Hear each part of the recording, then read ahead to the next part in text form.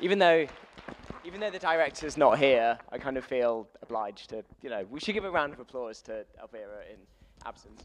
Um, so this is our esteemed panel.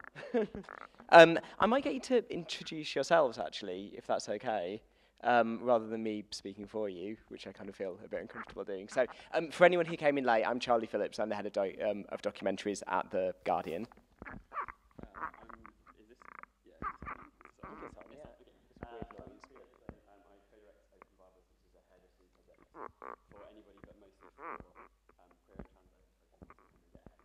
They feel is good for them. And we run that um, in London. So yeah, that's what I do.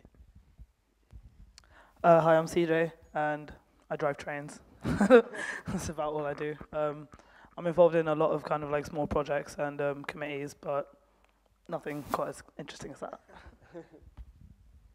Uh, I'm Octavian Starr, and I work for Stonewall Housing as a supported housing officer. I also do lots of other bits and bobs as well. Um, I do like specialist trans trainings and stuff like that. And I draw pictures. Hello, um, my name is Jay Stewart, and I'm one of the co-founders of Gendered Intelligence. Um, we're a community interest company. We work predominantly with young trans people across England now. We've got uh, youth groups in uh, London and also in Leeds and Bristol now. So we work with about 100 young trans people under the age of 25 every month uh, coming through our doors. We do lots and lots of things. We do a lot of work within education section, uh, sectors um, and we do mentoring, which is our one-to-one -one work with young trans people. I could talk about GI for ages, but I think I'll probably just leave it there. Cool. Thanks, everyone. Um, think, think of things you might want to discuss and ask all of us. I'm going to come out to questions in the audience. I'd like to make this as collaborative as possible. Um, but before we come to that, I, um, I think none of you had seen the film, at least in full, until just now. So I'd love to hear from all of you how, like, how you react to it, what you thought of it, um, any responses that you have to it. So let's start with you, Jay. Yeah, um, it's always really tricky to respond to a film after you've seen it. Um, I thought it was a pleasant surprise, actually, to see a film that was uh, simple, kind of mundane in a way. You know, not much happens. There isn't high drama. Um, it's really nice to see a story unfold of a, a young trans guy uh, and his uh, relationships, his experience of love, which is just not necessarily um, a theme, a topic that you, you tend to see. So I, I actually have completed a PhD and um, my objective study was documentaries um, in, in UK. And I think comparatively and still sort of, uh, sort of some of the films that we're still, documentaries that we're still seeing, um, it was just much more positive, much more um, sweet and uh, celebratory and, and kind of an, a non-event in a way, the kind of the trans non-event film, I think I put it down to, but that's a good thing. Put that on the poster. um, yeah, I feel I feel very similarly. It was really nice to like end a film watching a film about a young trans person and not feel crap, um, and not feel sad or hopeless. um, I've been following Ryan Cassata's YouTube for several years, so I'm aware of him, and, and I knew a little bit that this documentary was happening happening because he talked about it in one of his videos. Um, I haven't seen many, many of his videos for years, and now I really want to because now I want to see um, kind of the follow up from this because he's about 20, 21 now. Um, but I think it's really nice to see something that is so positive and so simple because I feel like there are a lot of and simple documentaries about tons of people. But when there's documentaries about trans people, because it's such a kind of it's not a new dialogue, but it's a very it's a new dialogue for a lot of mainstream people, and I feel like because of that, we're going through this whole well, we need to pick it apart and make it really simple for people to understand, which makes me feel very bleak as a trans person all the time. I don't even watch half these. I haven't watched the new Louis Theroux documentary. If you're wondering, um, just because I, I, just I, I, just don't want to. um, so it's nice to see something like this and really feel so positive and be like, you know, and also his mom reminds me a lot of my mother, which was really nice. So they even kind of look alike. Um, so that was that was really heartwarming for me to see such an amazing parent being portrayed as well, and and this really lovely little journey. So that was yeah, I really liked it. Um, yeah, I, I do feel quite similar. I think um, I just think it was really sweet. I'm like my heart is like oh. Um, and yeah, I kind of that kind of struck me as well. Like I don't want to use the word mundane, but because the film itself wasn't, you know, it wasn't boring. I really enjoyed it, but um, it really meant a lot to me to see kind of, especially. I mean, they're so young, um, but I like that. Like for instance, he had, you know, he wasn't on testosterone. It wasn't an issue. You could see he had scars from surgery, but that wasn't the issue. That wasn't what the film was about. It wasn't, you know, um, 101 shots of him like, I don't know, putting on makeup in the mirror. Like, you know what I mean? Like, it's that kind. It's not. It wasn't that narrative. It was. I. I, I don't know. I thought it was really sweet. I think because, like these guys were saying, like I see a lot of um, films about trans people and their transition, and it's great that it's out there. It's great that people are getting to know it. But it it meant a lot to me. I think as a young trans person to see a film about a young trans person, like a sweet film about a young trans person. Like I don't know, like falling in love or playing his music and it meant you know living life i think sometimes when i watch um, kind of documentaries about young trans people it's about their transition and that's great and then i'm like but what next what happens next what do i you know i, I want to see trans people like working in Primark and like having just going through life and not you know yeah that's how i felt i really enjoyed it Um, I think everyone's basically said everything that I would say. You have to think of something new. Um, say. but yeah, I think it's really important to have um, positive representations, particularly of young people. And I think also things that his mum was saying about like how young he was when he was um, coming out. And I think it's it highlights the fact that like people who are that age, like 12, I think it was that she said, people that age can make decisions about themselves and have those decisions supported. Um, but yeah, it was nice that the focus wasn't like we're going to follow them through the surgery process or something like that because that I think a lot of people get um, kind of super interested in that and then kind of pass it off as curiosity and it's not really it's not really okay. So I think it was a good representation of things other than let's just watch all the surgery footage. So yeah. Yeah, keep hold of the mic. Um, great, thanks, Evan. I'm, I'm glad everyone enjoyed it. I do think it's quite a special film. And I, I think it's particularly special because, it, I mean, mundane, actually, I kind of laughed when you said mundane, but actually it's, it's completely true. I mean, it's not a film about being trans. It's, it's a film about a relationship where one of the people is trans, and that is one of the issues there. But it's, it's, it's, it's a love story, and I really, I think it's so beautiful. Um, did I think Felix? Maybe you were saying that you you just kept on following Ryan's story, and you were aware of what Ryan's up to now. Um, I'm, I feel Vaguely. like I'd seen his videos before I knew that they were going to make this documentary. Like, like a few years ago when I would watch like loads of, um, like there's a lot, there's a huge YouTube community of trans people of all different gender identities, and I think that's a really great resource. And I used to watch loads of those videos because I found them really helpful, just sort of personally. But um, I feel like, yeah, I guess he's maybe 21 now, um, and I'm not quite sure what is happening, but it seemed like.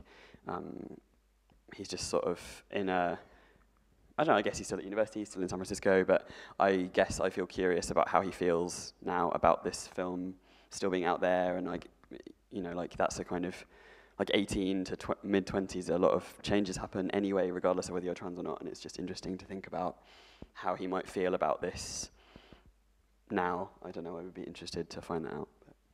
But, um, Yeah, I mean, Yeah. It, it, I, I probably should have checked this before the screening and seen what's happening now. Um, but I, yeah, it, w- it would be really interesting to, to know just if they're still together, which I don't know.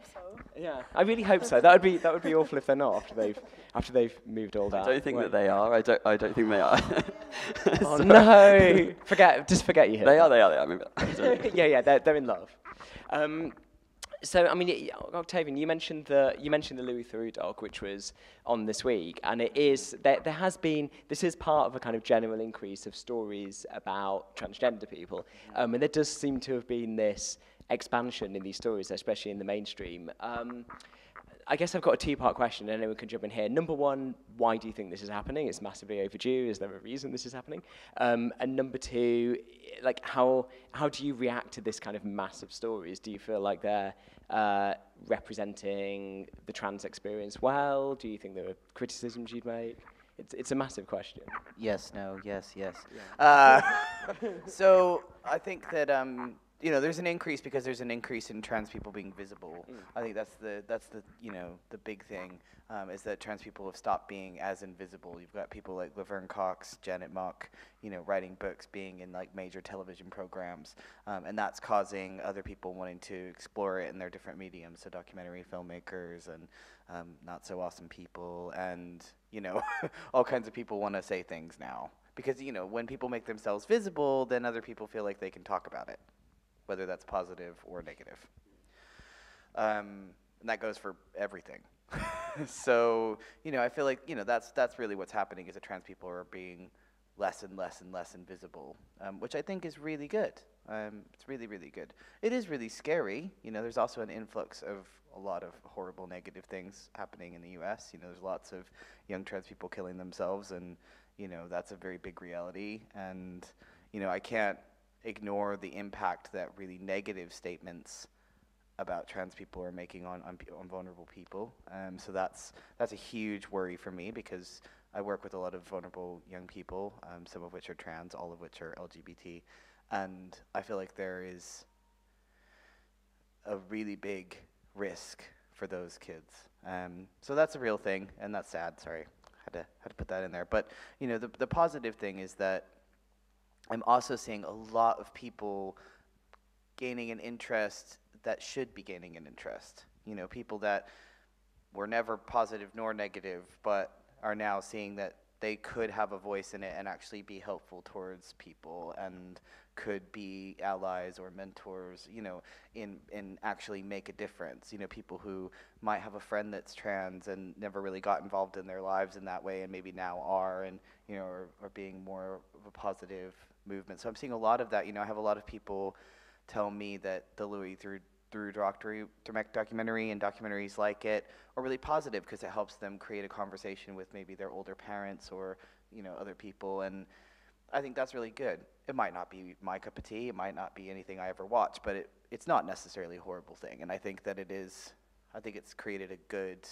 um, narrative for people, like a lot of other documentaries. But it also you know, there was just a women's hour thing that came on right after it where they had a positive and negative thing um, about transgender being treated by the NHS.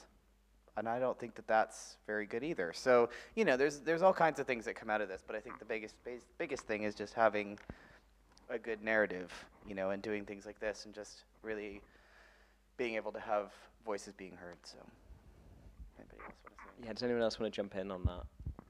Um, what was the question again? it was it was a really long two-part question.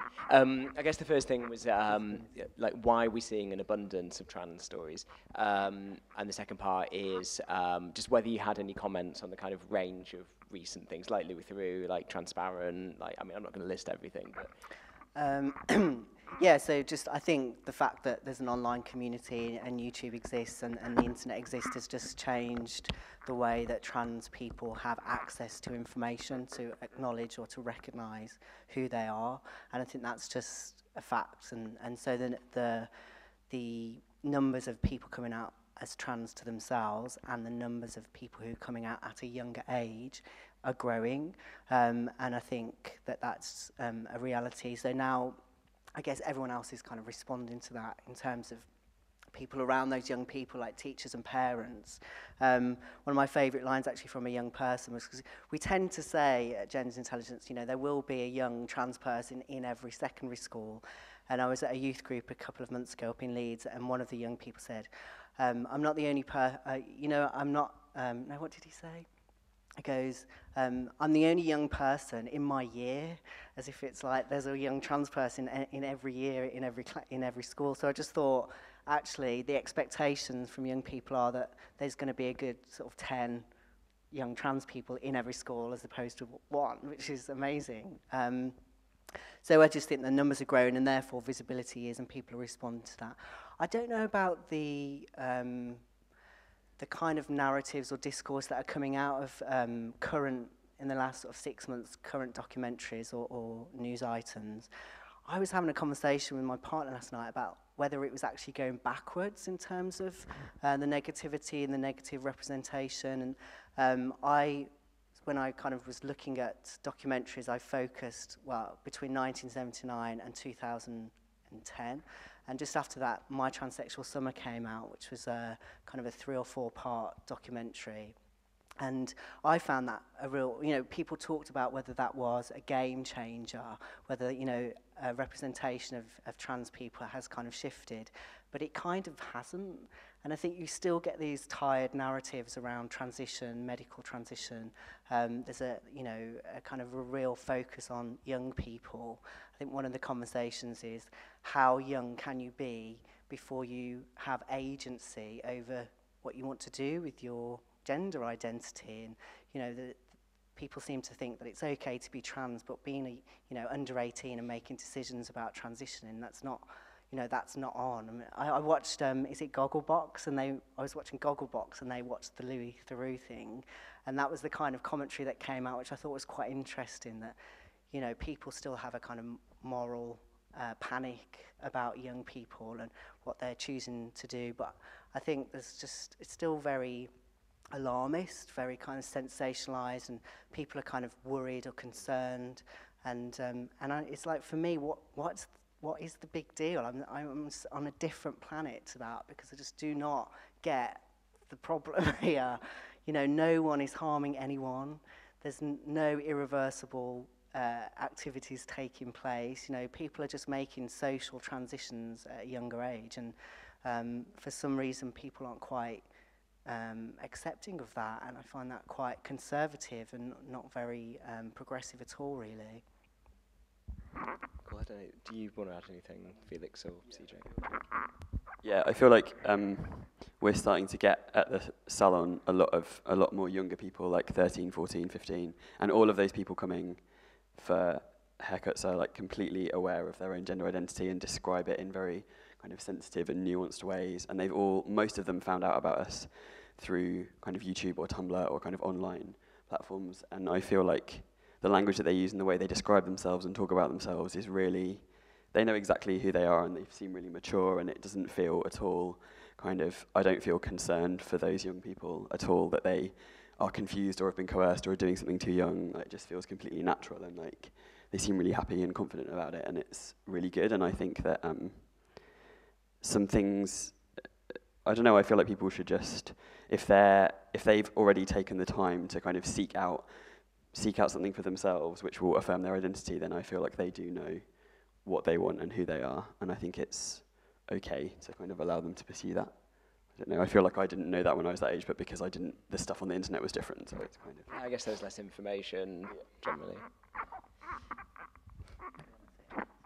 Um, I'll say something quickly. I think I think um, a lot of it has to do not so much even just with um, sort of documentaries and stuff that's on TV. I think a lot of it is to do with social media, but not just because of the visibility, but because of the way you can connect with with people. So even um, sort of uh, kids who aren't trans or cis- cisgender kids, like um, a lot of times when I meet kids and we talk about, you know, if I if if, if the the topic comes up, it's almost like nothing to them. They're just like, yep. I know what four trans people on Tumblr. Like you know, it's not it's not a big deal to them, and it's not just because they've seen documentaries or they've seen movies, um, which is where I kind of feel like.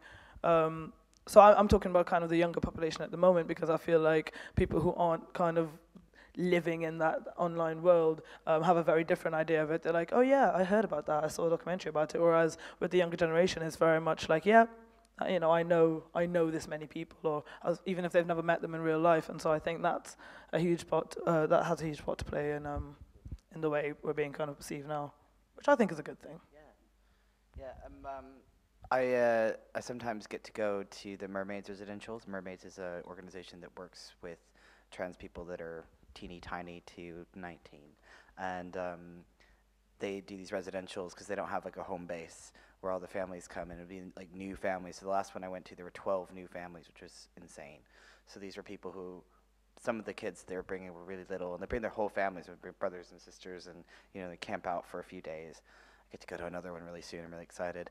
Um, but going to that, and I, I mean, I felt this way before, but going to that really affirmed the fact that if children are just given their own agency in a you know protected kind of way, I feel like all these kids were so happy.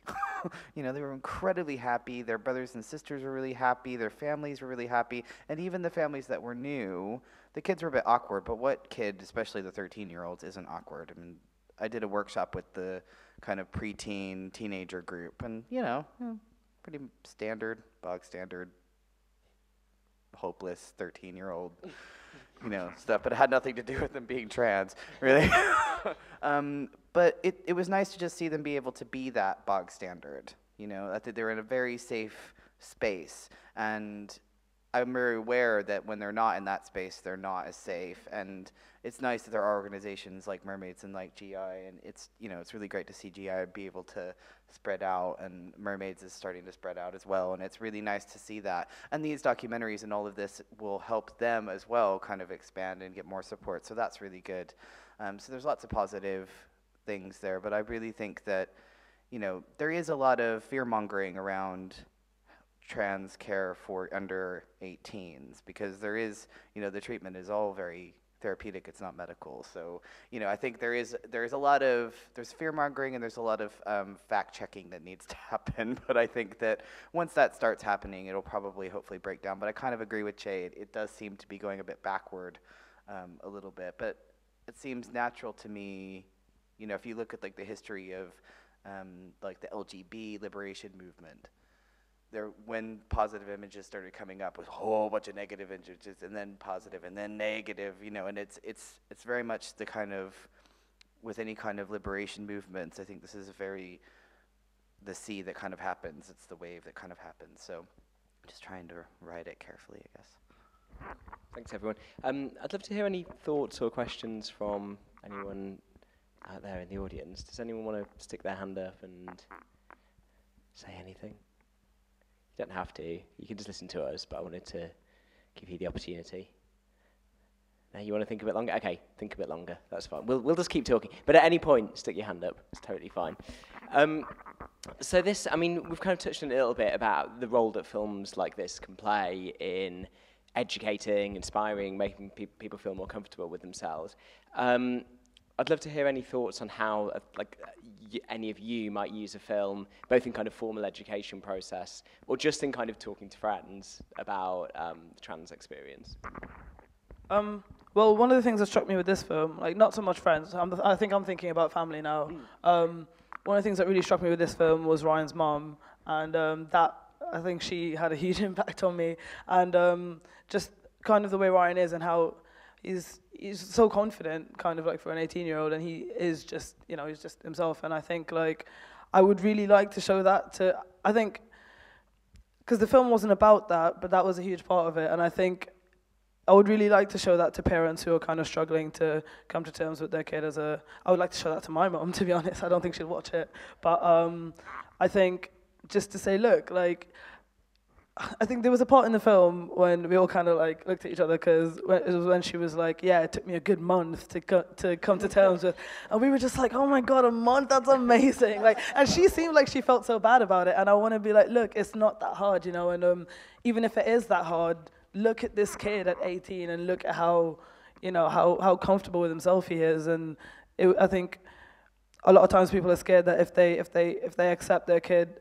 as trans, then they're kind of encouraging something that's going to hurt them in the long term. But if you look at kids who who've been, you know, um, had this support from from a really young age, they're so, you know, there's such a huge difference. And I think I would kind of use films like this. I think it's important to show it kind of in the context, in the whole context. So the film wasn't about wasn't just about the relationship between Ryan and his mom, because that could seem contrived or it could look like she's putting that on for the camera.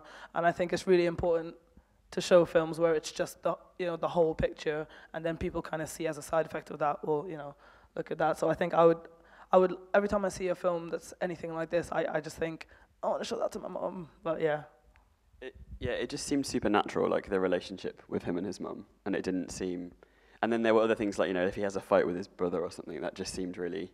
It was like this family life is just carrying on, and it doesn't. It's not like they're not spending every single second of the day talking about the fact that Ryan is trans. It's just a thing that is there, and yeah, I feel like it's really it great to have kind of positive representations of family relationships and kind of parent, particularly parental relationships. And yeah, the fact that the mum was like, it took me a month. Like I know people whose it's taken their parents five years just to call them by their preferred name, and it's like it's just to see that happening so easily for this for this parent, and something that kind of came up in the.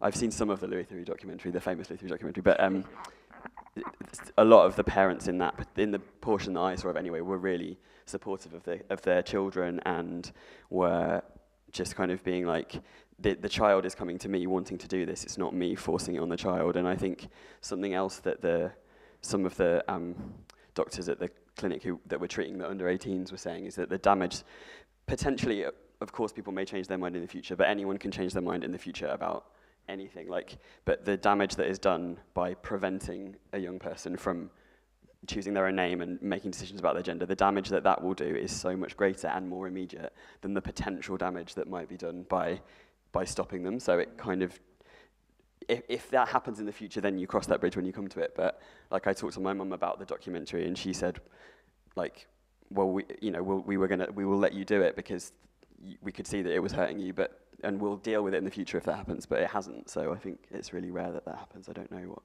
the statistics are, but yeah. Um, yeah, I, I think the the just in terms of the uni- uniqueness of this documentary, I wanted to sort of say, um, for me, one of the things that I thought was beautiful was um, the kind of uh, the idea that well, just the kind of the creativity that Ryan has and, and, and the kind of pursuing a creative life um, was really compelling as a story. And something that we notice a lot at Gendered Intelligence, always finding it in, incredibly amazing just how creative our, our young community seems to be and um, people are using art making processes as a way to, to process their emotions and their sort of psychological um, um, uh, journeys. And also, I think the thing that was really great was the kind of relationship with the community or the, the kind of uh, embracing the LGBT community as part of the narrative or as a kind of an audience really to sort of pursue that and to, to perform too. And that's something you just never see in other documentaries, the sense of kind of togetherness that trans people have um, and kind of desire to, to hear people's stories and to have platforms and you know. And, and I think he also is, you know, that's his life, isn't it? He wants to, you know, he's, he's pursuing, well, perhaps not, I'm not sure what he's studying, but, you know, he's also got this amazing musical career ahead of him as well. And um, so it's just this kind of interesting thing about how he's um, made a documentary which is kind of going to kind of forward further his career as well, you know, and, um, and I think that's, that's great and that his fan base is part of the community and um, I didn't know actually whether the who the audience was for this film. I was kind of thinking, because one of the conversations that's quite common when you kind of have a representation of a trans sort of person or, or stories, is this for trans people to watch and consume, or is it for kind of a mainstream audience? And obviously, it it's never that binary, but um, I was wondering if this had got a kind of a wider release or what the plans were for the documentary. I don't know. Yeah, I mean, this is something I did want us to talk about because it it played it played a couple of festivals. Um, I saw it in Copenhagen at a festival. It played at Hot Docs, which is a big festival in Toronto. Um, I think in this country it only played at the Raindance Film Festival a long time after it'd been around. And it has, I, I think it's a great documentary as a documentary. And it really surprises me that it hasn't had a wider a wider release or been seen by more people. And I do worry a bit that that is because of the subject matter, that all distributors saw it and were like, oh no, that's going to be really niche. You know, that's, you know, that's only for an LGBT audience. Whereas actually, I, I think it's aimed at a general audience. I mean, I don't know what you, you think, but I, to me, this feels like something that anyone would want to watch. Yeah, I mean, I, I think, I think it definitely is. I mean, I think it is very much a, a, a movie that might pull the heartstrings of somebody in the in the LGBT community a little bit more, mm. um, maybe. But I mean, I I don't know. I think my mother would love this. I'm totally going to tell her about it and try to find it somewhere for her. I think she would absolutely love this, but also to see something so positive. But it's just so cute. You know, it's a really cute film. So, you know, some people don't like cute films, but I mm. think, you know, people who really like cute films, regardless, would really enjoy this. It's a, it's very simple it's very cute. It's a very nice story about, you know, a young man kind of pursuing his dreams. beyond him being trans, this could really be anything, you know, because there's so many other things in this. He's he's kind of coming of age. He's pursuing as a career. He's going to college. You know, his girlfriend's parents have issues. Well, parents have issues for all kinds of reasons. So I mean, this could really be anything. And I think, you know, I really like how him being trans is really not a forefront idea, and that's that's really good. See, it's interesting that you that you asked that. I think because um, I think I didn't really think about it at first, but I think it's quite interesting that um, what you were saying about it, people seeing it and thinking, oh, that's for a niche kind of audience. And I think it kind of speaks to what we were talking about before, in that if there's a film about a trans person and it's about them being trans, then oh yeah, everyone can see that. That's really good. That's really educational. But the second there's a trans person kind of in a normal role, it's like okay, but why aren't we focusing more on the transness? And I think, it, you know, um, I think it probably is going to be a little while before we can kind of just have a trans person in a role and, you know, oh, that's a good actor kind of thing. Um, and we see it a lot in, um, in, in, in other communities as well. Um, like, well, I guess speaking personally, like I see it a lot in films, kind of with black kind of um, main characters. Um, you don't get a lot of main Hollywood films where there's a kind of like main black couple doing normal things, and if you do, then it's a black film, and it's specifically called a black film. And I kind of, I think I see that as well in LGBT communities and in especially trans um, stuff. You can't have a trans actor without it being a trans film for trans people, and so that's why it, it, you know I would quite like to see it in other film festivals as well. Um, I'd never heard of it before before I got invited to this, and um, I think it would mean a lot to kind of show it in in other film festivals as well. That, in itself, it, the, I, don't, I don't think any of you really, you sort of, some, I think a couple of you said you were aware the film was being made, but none of you were really aware of it. And to me, it's been around for a while. So the fact that you didn't know it was out there, I think says a lot about how, how badly it's been, it's been released. Um, um, can I ask you something about Ryan as a kind of figurehead or inspiring figure? Do, is it important to have someone who kind of puts themselves out as a kind of inspiring face, knowing that knowing that people will see this and kind of go, you know, you know, I identify with that. You know, that's that that it's important to them. Like, is that is it important to have figureheads like that? If he is a figurehead.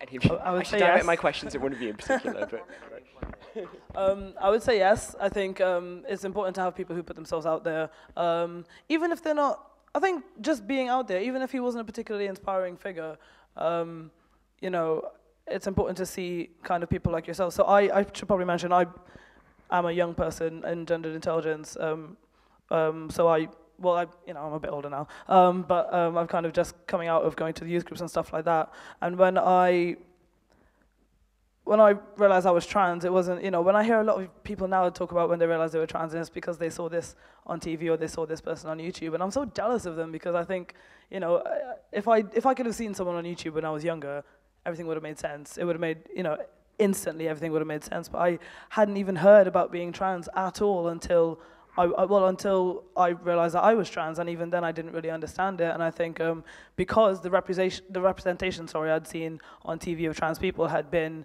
kind of this, you know, they were the butt of every joke, but also they all looked the same. They all it wasn't a real thing. It was this idea that was to be made fun of on TV. And the second I kind of like even saw an actual, tra- you know, a trans person, not even in real life. I think if I'd seen someone online, I would have understood it. But I remember I um, I was speaking to a psychiatrist about about stuff because my GP actually suggested like, okay, maybe you need to talk to someone about these issues you're having. He didn't say it, he didn't put a name to it, and I spoke to this psychiatrist, and then at the end of it, he kind of went, right, so I think you're trans, and I was. I was I was mortified. I was like, you can't say that. That's horrible. Why would you say that about me? Because I just didn't know. And I think if I'd even seen one person, kind of inspiring or not inspiring, who'd even said the word transgender to me, um, things would have made a lot of sense. So I think it's really important actually for people to see, um, for, for there to be people who put themselves out there um, just to say, I am this thing, so that maybe someone like little me can like watch it and be like, oh, I am that thing too. There are other people.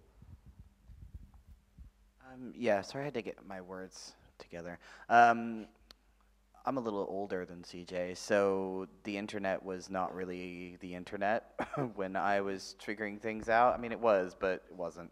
Um, I mean, I, th- I think I first met a trans person in 1999. Okay. Uh, so, you know, and I, you know, I lived in a big city. I identified as, you know, a lesbian, kind of, um, mostly because other people identified me that way. Uh, and I didn't really have a narrative. I didn't know that transition was a thing at all. I didn't know any trans people. I had no idea. And then I moved to Portland, Oregon, and I'm sure you guys, some of you have seen Portlandia. It really is kind of like that. So, um, it's um, Portland is uh, has a very high trans population, and it's a very you know very welcoming place. Um, and so I met trans people there and immediately knew. So for me, if that you know, I was lucky to have that experience, but for people living in more remote places or more remote countries, the internet and documentaries and things like that is the only exposure they're going to have um, to that information and to that kind of recognition and that narrative in themselves. I mean, I was 19 years old. I still didn't have that narrative. So I think for me, it is really important to have a positive or negative kind of exposure because it gives them at least that kind of that word, that narrative, that idea that they can kind of apply to themselves and however that's going to be relevant for them. Yeah, um, I think definitely we need we need um, really happy, vibrant trans people out there doing their lives and inspiring other trans people. I think we we definitely need more of that, and we need a diverse uh, kind of range of people's stories, people's identities, people coming from different backgrounds, um, so that people can recognise themselves across that. So that not all the trans people are white, for example, or not all of them, you know, are from even from urban sort of uh, worlds. When we do our mentoring, we match a, a kind of a trans professional person with a young person. And very often we go to all over the country to quite rural settings and, and they've never met another trans person um, before you, they can kind of, you can, uh, I'm a mentor as well, so I can sometimes be the only person that they know. So this is still really current in 2000, 15 we're in now, um, that, that, is, that, that that is a reality for a lot of people out there. So I guess definitely we need to have representations on different platforms across different media, but we also have to um, give people opportunities to have a live encounter with other trans people. I mean, I'm obviously a big advocate for the community, and I, I think it's just an amazing thing uh, when you can bring young trans people together, or just trans people generally. That was my personal experience as well. Um, so, uh, so I think it's just really important to have opportunities for people in their local settings to reach other, you know, people who have got similar thoughts in their head, similar experiences and similar kind of identities emerging, definitely. Uh, yeah, I guess just to pick up on what Jay said about like who is getting represented and who isn't getting represented, and how I think it's really, I think it's great that Ryan is out there doing his thing, and I think, but I think that it's also important to think about like the people that aren't represented and the people that like fall below the radar, I guess, and I think that you know, like you have to have a reasonable amount of privilege in order to access surgery, particularly in the States. It costs a lot of money. It costs a lot of money in this country if you want to go privately and have surgery. Waiting times are really long um, if you're going to go down the kind of NHS route. And I think there's also, there's a lot of people like, um, like migrant trans people, trans people of colour, like trans people who are in the prison system who don't really get the same attention or don't get the same kind of they sort of fall below this idea of like, oh, well, there's been a bunch of people on TV and there's been a bunch of people putting themselves out there, but not everyone has the facilities to do that. And I also think um, it's important to represent people who aren't binary identified. Like a lot of the a lot of the medical systems, particularly in this country, like sort of force you into particular ways of doing things. So to have representations of people that are non-binary identified or identified in different ways, and kind of make sure that the like most marginalised the voices are heard, I think is really important in terms of like who we're seeing, who's out there and stuff. Um, well, thanks everyone. Um, I'm just going to give a chance to anyone out there who wants to ask something, just in case you do. Okay, you can stay quiet. Um, um, I just wondered if anyone had any comments on Alexis as a character in there, um, because um, watching it, this is this is only the second time actually that I've seen this, and I kind of feel like by the end of it, you don't you don't actually feel like you know very much about her, and that's probably a choice of the filmmaker because she's not the main character. But how just um, like, what do you what do you think of her? Like, do you, do you feel like you have a sense of her as an individual human being? Um, well, I think it was all kind of explained to me when they got to the point where they said how old she was. Yeah. And then I got it. Because Yeah. I was like, oh, this seems a bit, you, you know, like she seems like she's a bit more immature than Ryan and, and is really struggling quite quite a lot. And, you know, I could see that they weren't focusing on her a lot.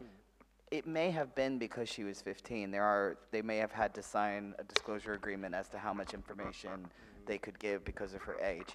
Um, so that that might be part of it as well. But um, I said, well, to be 15, but then to be 15 and to have the kind of wherewithal to be able to be in a documentary with your trans boyfriend who your father hates and has threatened, you know, the life of, and, and all these things. I think that's that says a lot about her as a person as well. And I think, you know, she seemed very genuine, but it seemed very age appropriate to me. You know, I, I, I felt like, you know, her the way she was and the way he was seemed very age appropriate. So.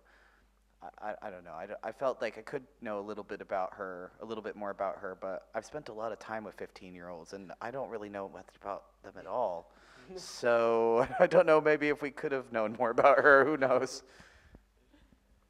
Yeah, no, it's interesting because I, I had that thought as well, actually, in how much, um, how much maybe a criticism you might offer of the documentary is, is, is to sort of ask questions around whether she was kind of just the object in the relationship and that you don't really get her story. And you know most of the commentary was about what she looked like and how cute she was. And you know it was about his love for her as the main thread I think. And and um, and in that sense not that queer perhaps um, reasonably kind of heteronormative in, in in the way that that was kind of represented. Um, so yeah I don't know about that. I, I think you don't know that much about her but I, um, I'm not sure. I I'm not sure it's just an age thing. I think there's kind of obviously edited choices there as well and um, it's difficult where to sort of put the put the energy but um, yeah, and it was kind of very, it was kind of like, um, uh, you know, it was a portrait of him, really, wasn't it, more than anything else, and and his kind of passion and, and creativity and, and feelings, um, and I, and I think his his um, relationship with masculinity was really good. I thought he was kind of really emotional, and all of that was really really um, powerful and very huggy, and you know, and and was quite open and happy about about, about sort of. Um, uh, sharing his feelings, um, but you didn't really know, you didn't really kind of get to know her. You didn't really know f- how she was feeling. And I was thinking about if they stay together, whether it was something because she probably was not as in love as he was, or something like. I kind of got that sense, but that's just me projecting, probably. Yeah, I think you're probably. I don't know. I was kind of thinking a lot of that as well. I, uh, I feel like, you know, it's kind of a cool thing to like go along with documentary as well, like and say, oh, this is cool. But you know, when it's over, who knows? It might have just been a good little journey in in their lives. They're both very very young, so it's really hard to to know. But it's happy to see that it was done, and I'm you know I was happy to watch it. I thought that was really cute. I I think it could have done a little bit more about her though, because at times I was just like does she want to be filming right now? Like, you know, when she's looking really awkward and, you know, hiding her face and stuff. And I felt like maybe those shots could have not been there because it made her look quite awkward. I don't know how she's going to feel about that now if she, if she watches it again, but um, probably a bit embarrassed. Um, so, you know, I don't know. This is, Well, she, seems, she seemed to be the same even as YouTube videos, though. So maybe that is just her. Maybe she's just. I mean, you know, even when they were kind of filming together in the YouTube videos, he was like prompting her, like, "Go on," you know. So maybe that's. I don't know. I was a bit like that when I was 15, 16. So Yeah, I guess it represents people at a t- time in their life. But I thought a lot about how that person who made the documentary like got in touch with them, the decisions that were made about when they filmed, like how did they just happen to be filming when like all the, the like arguments were happening, like how is it that the camera was there at the moment when everyone's mm. crying, like how how did that all I feel like I don't. I have questions about how like staged or not staged that may or may not have been, because it's r- unless you have the camera there like all of the time. How likely is it that you're going to have the camera there when all the emotional breakdown is happening? I don't know, but Yeah, I mean, I, I was I wasn't actually going to bring that up unless one of you did. But um, again, watching it for the second time, that and with my kind of documentary craft head on, yeah, like some of it does seem quite kind of. I'm not going to say staged because I don't think it is, but I think there is a bit of kind of molding going on there, which is fine. People do that in documentary. I mean, it, it does, you know, that does happen. But um, it is interesting, and I do wonder whether it is to do with, I guess, a duty of care towards Alexis because she is so young. I don't know, but it is, it is something that you know we should chew on maybe. Um, is there a question at the back? Cool. Yes. We'll just um, just wait for the microphone to come to you so it um, picks up on the camera. Thanks. Um, yeah, my question was just kind of following on from that because the director's voice really isn't a part of the film and it's kind of led by the characters. And I just wondered, and in, in almost to the extent that it feels a bit dramatized. And I just wondered if it had been different, how would you feel about, you know, tackling the subject matter? If, if that had influenced, you know, the way that you felt that the, the story was naturally portrayed in a way. Um, do you mean like if the director had had more of a Yeah. voice? Um, I think I guess my perspective is slightly different because I've seen his YouTube videos, and I think it's different because obviously he and Alexis decided to put their own stuff on YouTube, a lot of which kind of are a lot of the videos that they put up on YouTube are things that come up in the film. So, but obviously that's entirely controlled by them. But I think it's good that it felt like there wasn't that much kind of the director controlling things because I think it's really important to let everybody, but particularly trans people, speak for themselves because so often we get spoken for or about or on behalf of. Um, and so I think I probably wouldn't have liked it as much had there been more. We're going to film you talking about this now or this now, or like talk to me about how you feel about your surgery and stuff like. So it just like it felt reasonably natural, like because I, because I know that he uploads sort of surgery update videos of his own accord to YouTube because I knew that information. It didn't feel con- necessarily that contrived that the director had chosen to feature that because it was like, well, I know that he does this anyway, and I know that like loads of people on YouTube do that, so it's kind of felt representative of the the kind of choices that he may have made outside the film. So I thought that was quite good. Um, Well, I um, I think there's a you can you can tell there's a huge difference between kind of uh, documentaries like this, which are led by the characters, and the ones which are led by um, sort of a producer point of view. And again, the Louis Theroux documentary, for instance, like um, there's a, quite a lot of it where you see these moments, and you you know, you, obviously he's asking them questions, and that's great, and you you kind of come you come to a conclusion about it, or you hear their voice about it, and then all of a sudden his voice will come over. Like um, there was the uh, the young person whose name I can't remember. I, I don't know how many of you have seen the documentary, but there was a young person in it um, who kind of like one day is happy to live as, as Cole and the next day as um, in a female kind of role. And, and you know, they were perfectly happy with it. Their siblings were perfectly happy with the setup. And then I looked at that and I thought, wow, like this kid is, you know, um, clearly, you know, gender fluid or I don't know, may have another identity. But it's really great that you just show them in that. And then at the end of that section, Louis Theroux comes on and, think, and says something like, you know, something about her choosing choosing a role. And I was like, why did your comment have to come in on that? And so I think that a lot of the documentaries about trans people are very much. Um, the, the, the, final comments are always the, the, the producer's kind of point of view. And